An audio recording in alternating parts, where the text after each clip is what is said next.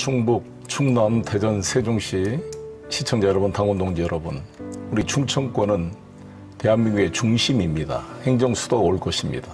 GRDP가 높지만 여러 가지 화력발전소가 30개나 집중돼 있어서 여러 가지 대기 오염도 유발하고 있고 문제점이 많이 있습니다. 잘 충청의 발전, 메가시티 정책을 뒷받침해 가겠습니다. 민주당이 변화해야 됩니다. 정말 이 변화할 것이냐, 관성대로 갈 것이냐, 그 기로에 서 있습니다. 송영기를 선택하면 변화가 시작됩니다. 대선 승리의 희망이 보일 것입니다. 기존 관성대로 그대로 가다가 대선에 패배할 것인가?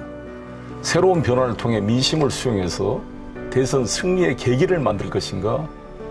우리 충청권 유권자 여러분 손에 달려 있습니다.